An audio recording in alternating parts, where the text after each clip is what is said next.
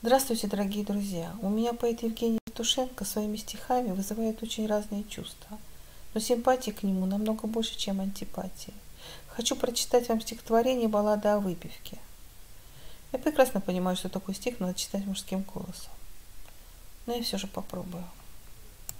Мы сто белух уже забили, цивилизацию забыли, Махрою легкие сожгли, но порт завидев, грудь на выкат, Друг другу начали мы выкать, И с благодарной целью выпить Со шхуной в Амдерме сошли. Мы шли по Амдерме, как боги, Слегка в развалку, руки в боки, И наши бороды и баки Несли направленно сквозь порт. И нас девчонки и салаги, а также местные собаки Сопровождали, как эскорт. Но, омрачая всю планету, висела в лавках, Спирту нету, и как на немощный компот мы на игристой Донской глядели с болью тоской и понимали, не возьмет. Но кто наш спирт и водку выпил? И пьют же люди, просто гибель. Но тощий, будто бы моща, Марковский Петька из Одессы, как и всегда, куда-то делся, сказав таинственное ща. А вскоре прибыл с многозвонным огромным ящиком картонным, уже чуть-чуть навеселее, и звон из ящика был сладок. И стало ясно, есть порядок, и подтвердил Марковский, е.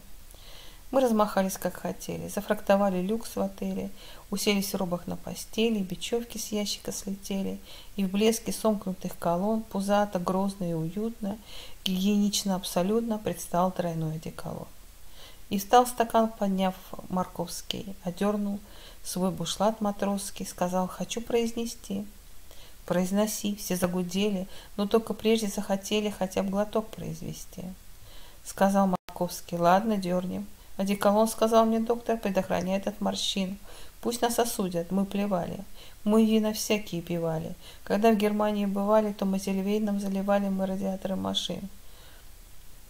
А кто мы есть? Морские волки, нас давит лед и хлещут волны, но мы сквозь льдины напролом жлобам и жабам ставим клизму, плывем на зло империализму и поддержали все, плывем.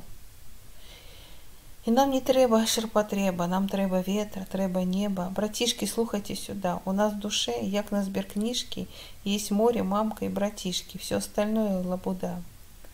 Так над землей великаном стоял Марковский со стаканом, котором пенились моря. Отметил Кэп. Все по-советски, и только боцман схлипнул детский. А моя мамка померла. Мы заплакали на взрывно, совсем легко, совсем не стыдно, как будто собственной семье, гормя горючими слезами, сперва по Босмановой маме, а после просто по себе. Уже висело под, над аптекой, тройного нету, с грустью некой.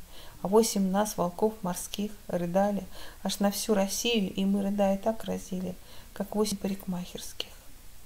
Смывали слезы, словно шквалы, всех ложных ценностей навалы, все надувные имена, и оставалось в нас притихших лишь море, мамка и братишки. Пусть даже мамка померла. Я плакал, как освобождался. Я плакал, будто вновь рождался. Себе иному не чита, и перед Богом и собою, как слезы пьяных зверобоев, была душа моя чиста. Всего хорошего вам и вашим близким. До встречи.